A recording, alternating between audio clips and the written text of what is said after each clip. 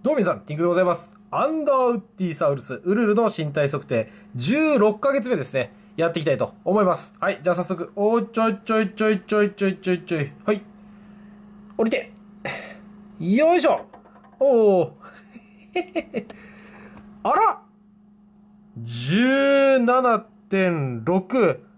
ほー、減ったね。減ったね。あ、そう。これちょっと意外ですね。前回増えたっつってちょっと一喜一憂してたんですが。ああ、そうですか。ちょっと意外な感じですね。まあちょっと見やすいアングルにじゃあ変えていきましょう。ちょっとごめんなさい。数字出んの短かったかな、今。ごめんなさい。ちょっと早かったですかね。よいしょ。置きまして、乗せまして、これを上げます。よいしょ。はい、ということで、えー、16ヶ月目のウルルでございます。はい。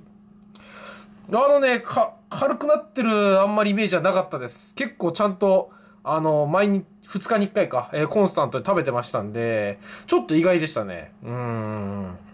なんもないといいですけどね。まあでもちょっと今回ね、ストレートに何事もなかったっていうわけではないので、その辺がもしかしたら影響してるのかもしれないですね。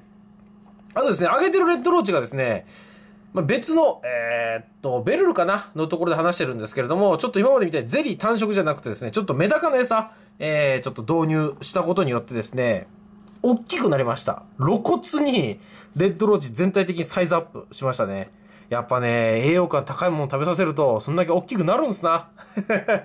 それを痛感しました。はい、ということで、大きくなったので、与えてる餌もちょっと大きくなりました。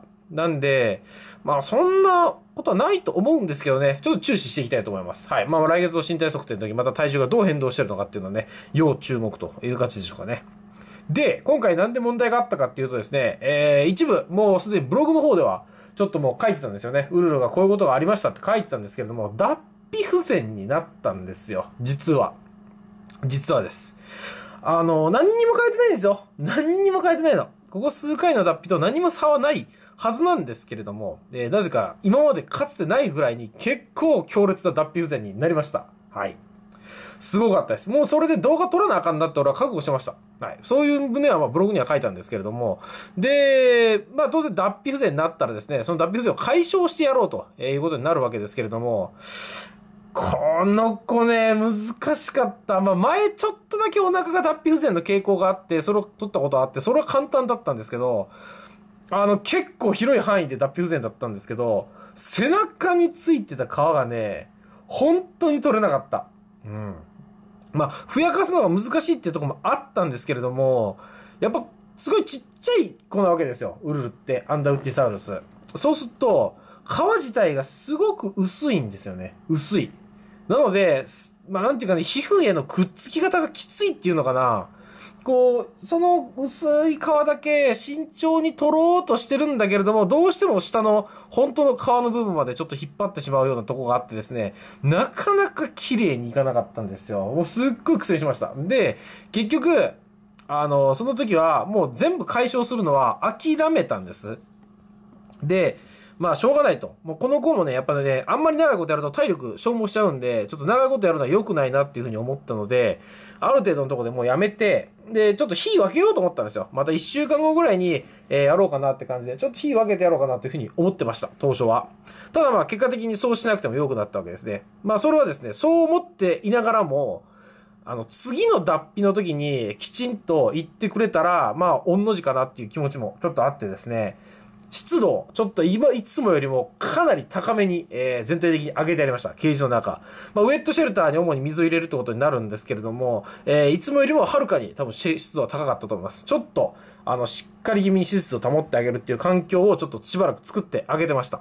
で、それで、あの、次の脱皮の時にね、100%成功してくれたらなっていう気持ちでした。そういうニュアンスでやってたんですけど、なんとですね、そういう環境に置いてたら、自分でですね、脱皮、またさらにしてました。その本来の脱皮じゃなくて、その脱皮不全になってるところを自分で解消してました。自分で脱いだみたいですね。どうやら湿度を高くして保っといてあげたら。だから自分自身で脱皮不全を改善したという形みたいです。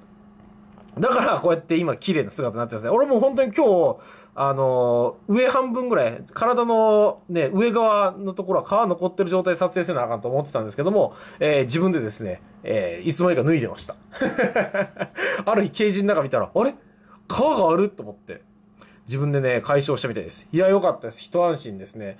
で、まあ自分で、まあ脱皮不全になってたら当然ね、健康面っていうのをまあまず疑ってくることにはなると思う、まあ湿度不足もそうですけども、健康面も疑うべきところではあるわけですけれども、まあちょっと思ったのは、その今体重軽くなってるんで、もしかしたらって思いましたけど、その体重見るまでの間は、自分で自力で、あの、不全やった箇所直したんで、ちょっとと脱皮のタイミングは湿度が足りなかったのかなと。まあ、いつもと同じにしてたつもりだったんですけれども、まあ、外的要因に引っ張られたのかなと思います。外の気温とかそういうものに。いつも以上に引っ張られたのかなと思います。で、えー、その後、すごい湿度を高めてやったことで、自分でそれをね、打破したってことは、ある程度健康面は心配ないんじゃないかなと思ってます。多分ね、本当に悪い子だと自分で打破できない。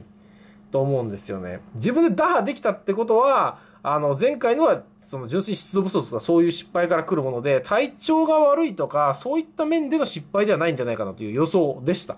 ただ今回ちょっと体重減ってるっていうとこもあってですね、まあ、前回の20.0がですね、だいぶジャンプアップしたってところもあるんですけれども、えー、ちょっとま様子見ながら行きたいなと思います。はい。餌自体はちゃんと食べてるみたいですけどね。うん。まあ、餌食べてて痩せてるってなるとなかなかね、あの、寄生虫とかそういったのが出てきますけれども。まあ、まだ1ヶ月でちょっと判断は致しかねんかなという感じです。もともと測ってるミニマムの単位が低いとこもあってですね、まあ、ちょっと、もう1ヶ月ぐらいはちょっと様子見ようかなと思います。はい。まあ、そんな見た目でね、すげえ細なったなって感じは、俺はしてないんですけどね、どうでしょうね。皆さんどう思われるか分かりませんけれども。もしかすると脱皮不全のね、そういった部分で、え、影響してるのかもしれませんしね。ちなみに、えー、ケージの中見てますけども、食べ残してる餌とか、えー、吐き戻した感じとか、そういったのは特に見られなかったです。はい。ちゃんと食べて、えー、うんちしてるなという感じでは見て取れましたね。いやーよかったです。でもほんと脱皮不全はね、めっちゃ焦りました。びっくりしました。え？っと思って。いや、まあ、皮がいつもね、外にあったんですよ。で、ああ、脱皮したんやなと思って。で、ケージ掃除しようと思って。で、こう、パカって出したら、まあ、体のまだ半分以上真っ白なんですよね。あれ？と思って。途中で、俺が見てしまったっていうパターンは、あれはなかったと思います。うん、それはないと思う。大体いいつも、あの、皮があるなって思ったらもうすぐ全部終わってるんで、そういう時は大体。ちょっと言って、その皮があるなと思って、その日にすぐやったわけじゃねえんで、ちゃんと次の日ぐらいに、えー、ちょっと置いてからやってあげたんで、途中だったってことはないと思うんですよね。だから純粋にあの1回目はやっぱり失敗だったんだと思います。はい。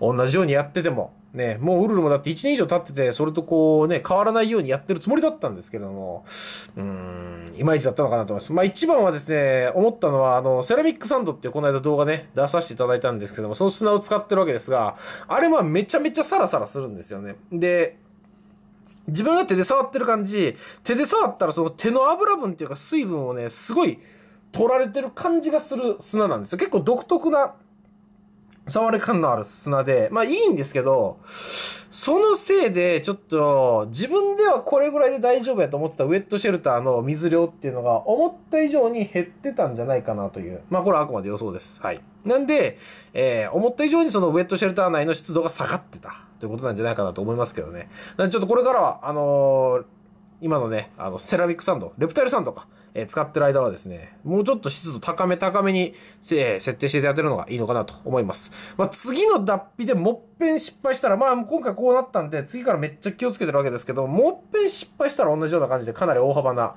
失敗をしたら、やっぱ何かあるんだと思います。次すんなりスパッといったら、あまあ、この間本当にたまたまそういうことが重なったのかなというふうには思いますけどね。はい。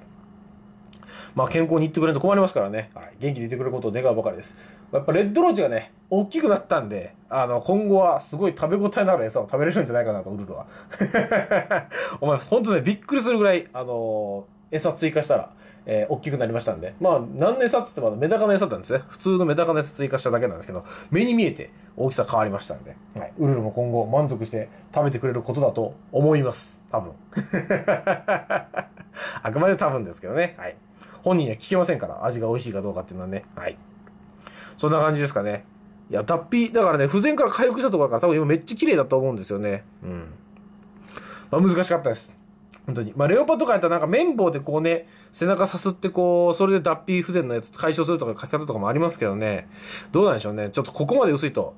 やっぱある程度大きい子はね、脱皮不全になっても簡単なのかなと思いました。まあ、その脱皮不全のその後、それは今度はね、つけたりとか解消する方が大変かもしれませんけどね。ちっちゃい子はちっちゃい子で。